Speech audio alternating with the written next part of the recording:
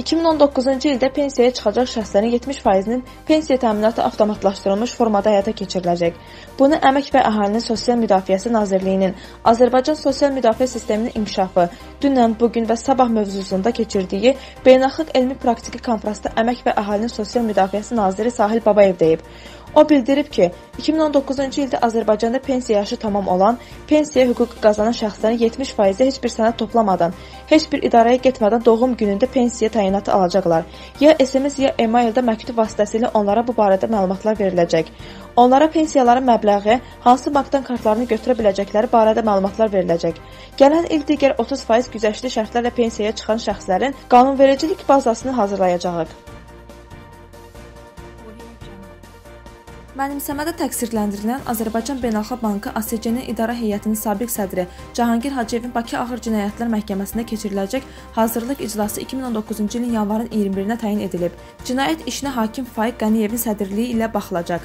İstintaqla həmçinin Hacıyevin Xəlilovla birlikdə faktiki rəhbərlik etdiyi Astorq MMC üzrə 2011-ci il, 2014-cü illərdə dövlət büdcəsində 1 milyon 752 min manat vergilər ödəməkdən yayınmasına əsaslı şübhələr müəyyən edilib.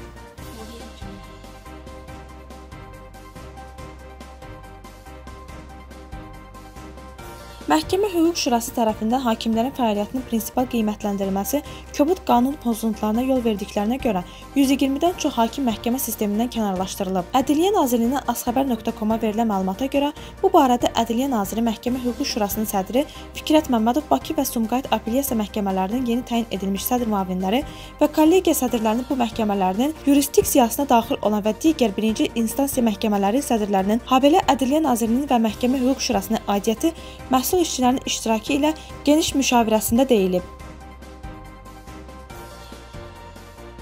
Bakıda ləğv edilmiş Milli Təhlükəsizlik Nazirliyinin keçmiş əməkdaşı Fariz Vahabovun qətlində şübhəlilərdən biri saxlanılıb.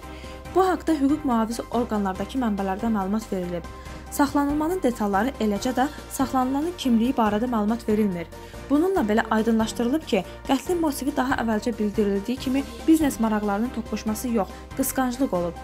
Xatırladaq ki, cinayət 20 dekabrda Vahabovun yaşadığı evin həyətində baş verib. Saat 19:26-da Vahabov öz maşınını park edərkən naməlum şəxs tərəfindən bir neçə dəfə atəş açılıb. Xüsusi xidmət orqanının üzündən və sinəsindən 2 güllə yarası alan keçmiş əməkdaşı hadisə yerindəcə dünyasını dəyişib.